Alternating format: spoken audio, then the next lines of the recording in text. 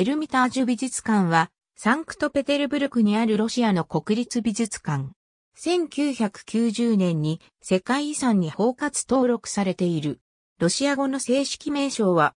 エルミタージュとはフランス語でハーミティッジという意味である。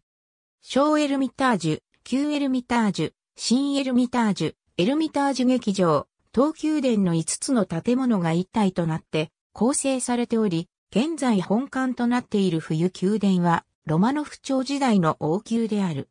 ネバ川から見たエルミタージュ美術館の建物群、左からエルミタージュ劇場旧エルミタージュ小エルミタージュ、東宮殿、新エルミタージュは旧エルミタージュの背後にある。美術館、内部1764年にエカチェリーナ2世がドイツの画商、ゴツコフスキーが売り出した美術品を買い取ったのがエルミタージュコレクションの始まりである。エカチェリーナによって東宮殿の隣に自身専用の美術品展示室が建てられた。エルミタージュは当時のフランス貴族が建てた個人的な利休を意味した。その後もエカチェリーナのコレクションは増加したため、東隣に施設が増築された。なお、劇場も同じ頃に建設されたものである。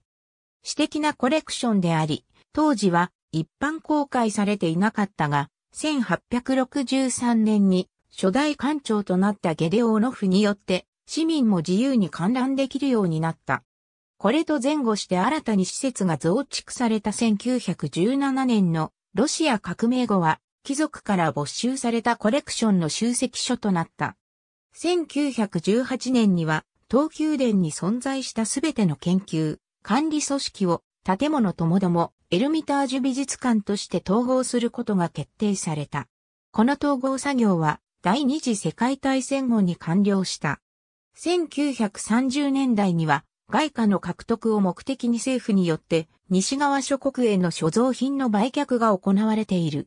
2014年12月、近接する旧参謀本部の建物を改修して新館がオープンし、印象派を中心に展示している。イタリアルネサンススペインフランドルオラン第2章廃校。サンクトペテルブルク地下鉄5号線のアドミラルチェイスカや駅下車。詳細はエルミタージュ美術館ボランティアサービスを参照。ありがとうございます。